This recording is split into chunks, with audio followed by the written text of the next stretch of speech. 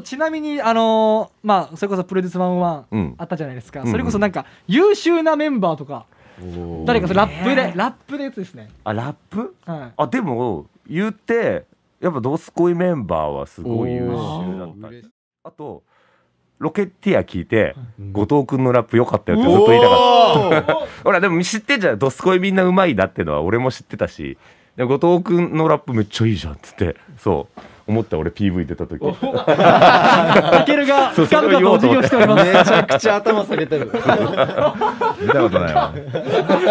めっちゃお辞儀。お辞儀したまますごい熱い視線を飛ばしてくる見たことないわ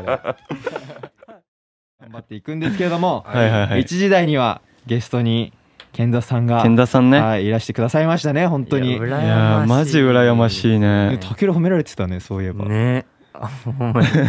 あのちょうど体前屈ぐらいのお辞儀させていただきましたよ。めっちゃお辞儀してたもんね。してたね。見えてたよ俺からも。本当嬉し健いです。田さんね久し久しぶりに会えて。ずるいよね。俺喋りたい。いやいやいやいや甘えるな甘えるな甘えるな。甘えるな。すいません。頑張ります。